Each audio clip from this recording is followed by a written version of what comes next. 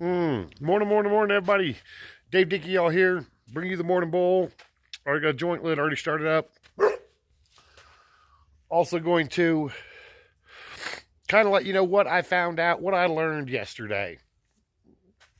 So if you saw yesterday's morning bowl, you saw I was bitching about the fucking wind on this property. And right there at the end,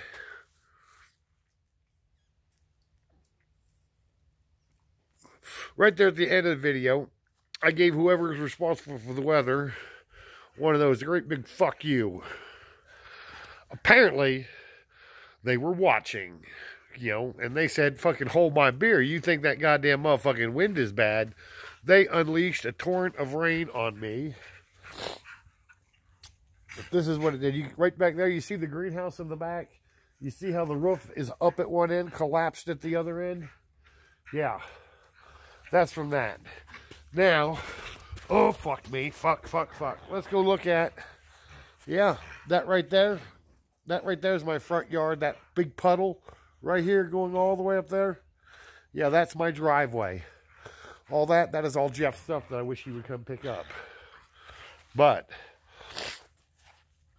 so apparently whoever is watching the motherfucking, whoever is responsible for the weather watches the morning bowl.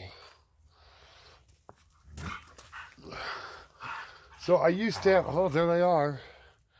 So right over here, this water right here, see this channel right there? That channel goes over this way, over that way, to there, all the way back.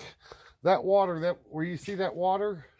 Alaska, get away from there, you dumb fucker. That is my septic tank leach field. That hole is about six feet deep. So I've got about six feet of water over there in my front yard right at this point. So, to whoever's watching the weather here in Colorado, then fuck off. Got that for you. I'm still here, still with a middle finger waving. This is Dave Dickey. Peace out to all you all you other people. But to you who's in charge of the weather, got that for you. Hope you fucking drop another foot of water on me today. Peace out.